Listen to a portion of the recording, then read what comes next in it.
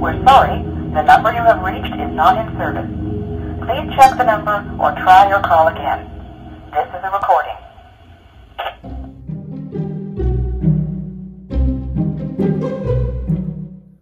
Hello, my spooky friends. Welcome back to my channel. This is Daniel from Second Chance Love, and welcome to another fabulous spooky house tour. And today you're going to be seeing another fabulous part of my home, which is decorated for Halloween, which I am very excited for all of you to see. So today you're going to be seeing the little haunted mansion inspired-ish, I want to say, because it's supposed to be like a little haunted mansion check-in section at the house where you're gonna see like a check-in area, like if you would to see like at an hotel kind of vibe-ish feel, kind of like also like if you were staying at a a big mansion or something like that, you know. But you guys will see, you you guys will totally understand what I mean in just a few minutes. And then you're also going to get to see my fabulous spooky Halloween village, which I'm so happy and excited for you guys to see. So before we get to see that lovely preview, make sure that you have subscribed to my channel. Make sure to hit that subscribe button. Hit the notification bell so you know when the next video drops. And if you haven't followed me on my social media, make sure to follow me under second underscore chance underscore love underscore and I'm so excited for you guys to see this. So as always, I hope that you are all well. Thank you so much for your lovely comments. Make sure to watch all my previous videos of my spooky house tour. I still have a few more sections of my home that I'm going to be showcasing, so make sure to stick around for that. And if you like this video, I would love and appreciate for you to give me a big thumbs up and any comments below are welcome. So without further ado, let's go ahead and get spooky.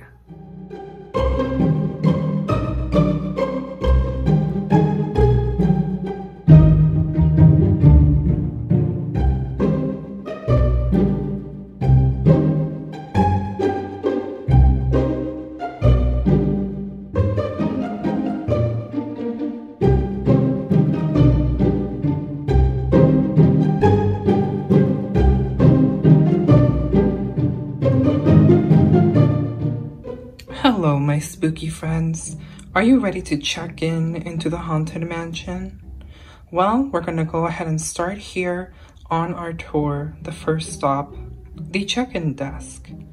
So here you see a beautiful old-fashioned vintage style phone that I got from Target possibly two or three years ago. It's absolutely such a smashing hit. The funny thing is my parents used to actually have an old phone like this, but not so much as this style, but the actual turn dial wheel that you had to turn all the way down to get the number. Oh, a call. I wonder who it is. I'm coming for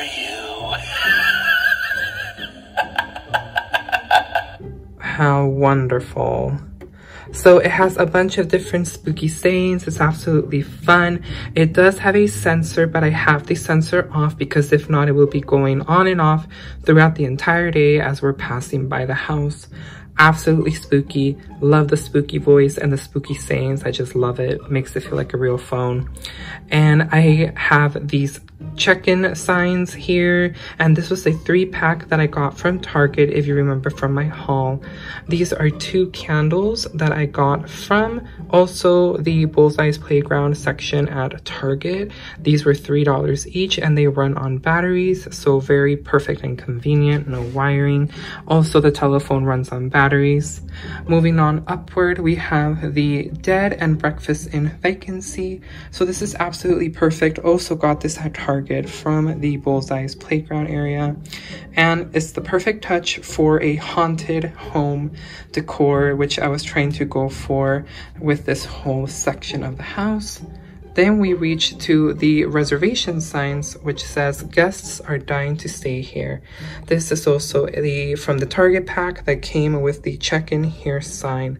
And what better way than to make your clients and customers want to stay than by seeing old pictures of previous guests from the mansion. But of course, there's a little bit creepy about these pictures As you can see, this was before their cadaverous change. Just look at that. Oh my goodness.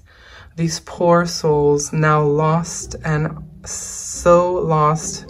Their poor souls lost in the haunted mansion here and they are unable to pass to the other side. So this is a good question. Are they warning us of what's about to come? Are they asking for help? Or are they eternally evil and do not want us to be here? These are so cool. I got these from a pack and it was from Walmart. A few years ago, I found these at the Halloween section, kept them up to this year, you know, I always like to keep a lot of my Halloween decorations if they are salvageable, usually paper ones like that. They either are trashed or you use them only once, but these are absolutely perfect. This is made out of plastic, but the paper frame is paper. So it definitely lasted for me for to be able to use on multiple uses. So this, my friends, is my little haunted check-in corner that is located in our little mansion here.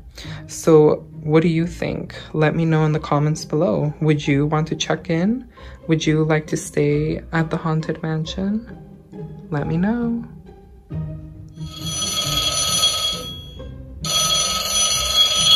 Don't you dare hang up.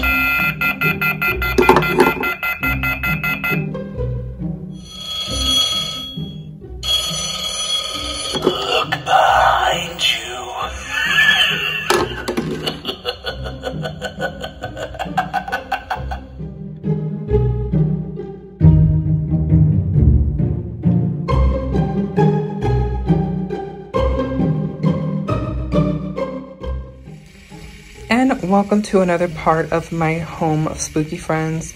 Welcome to Spooky Town, or aka Spooky Street. So we're starting off on this side of this Halloween inspired haunted village, kind of like a Christmas village, but Halloween.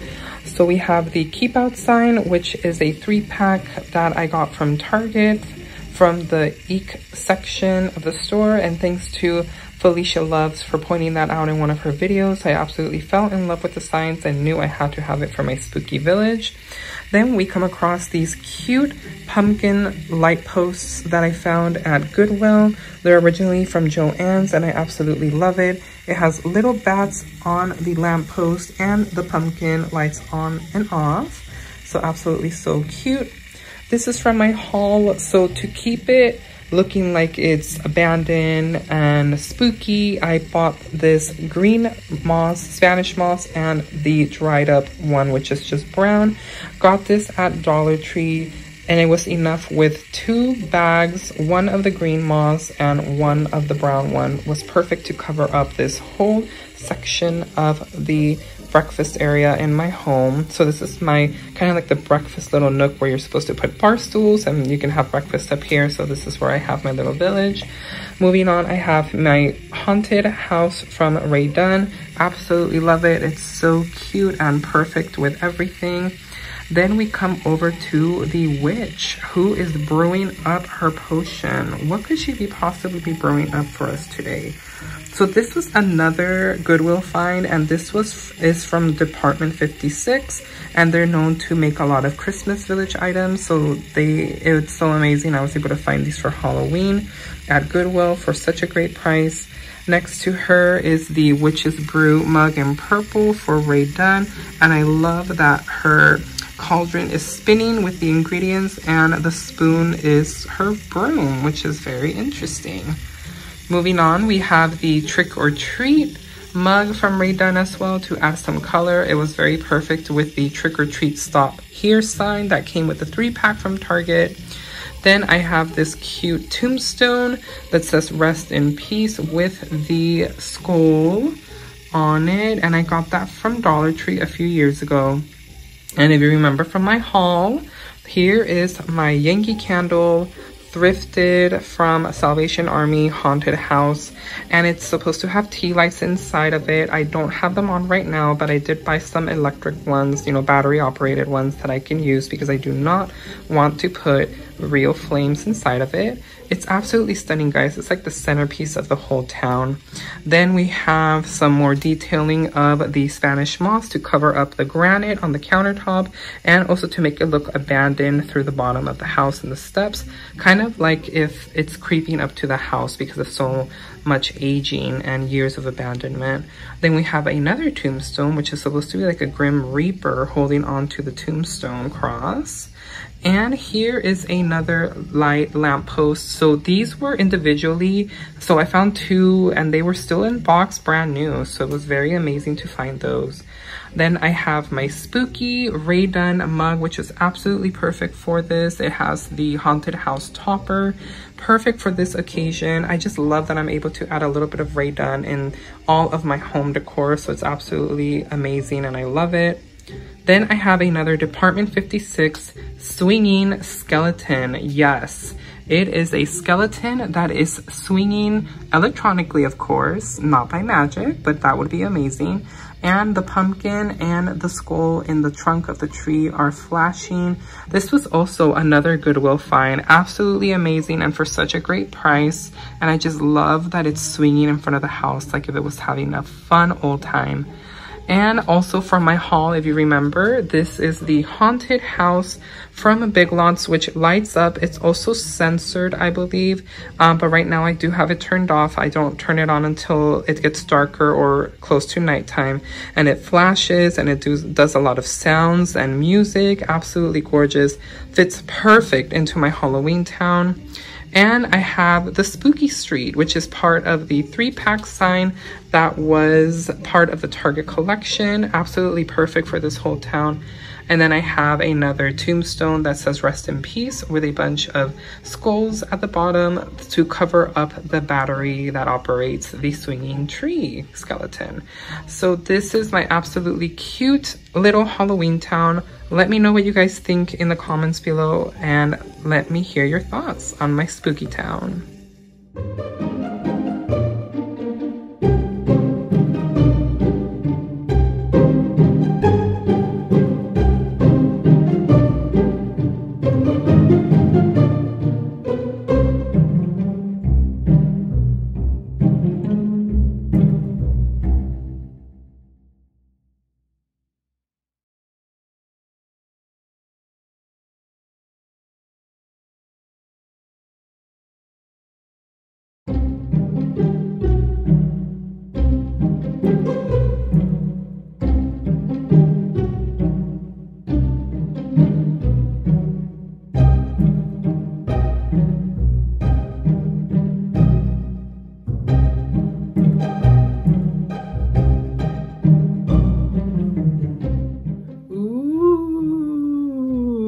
Hope that you guys loved my spooky house tour for today.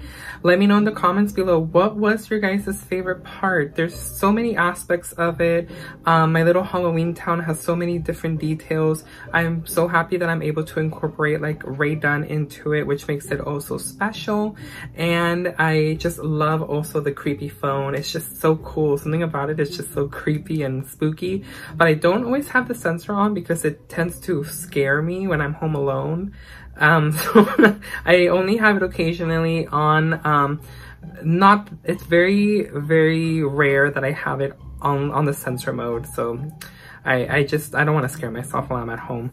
But anyway, let me know in the comments below what was your favorite from the spooky house tour and make sure to stay tuned because I have a lot more videos coming out soon. Definitely a few more areas of um, home decor that I want to show you guys for Halloween.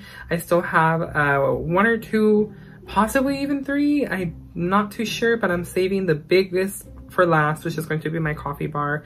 That has like the most stuff incorporated in it. So that's the last thing that I'm going to show you on my spooky house tour. So as always, I hope that this video finds you all well. Make sure to check out all my other videos on my library. And if you are new to my channel, welcome. Make sure to subscribe if you like what you see. If you like thrift hauls, shop with me, and so much more, make sure to stick around. To my returning subscribers, thank you so much. Your support means everything to me. And I hope that this video finds you all well, my friends, and stay spooky tacular as always. Until next time, this is Daniel from Second Chance Love. Bye thank you.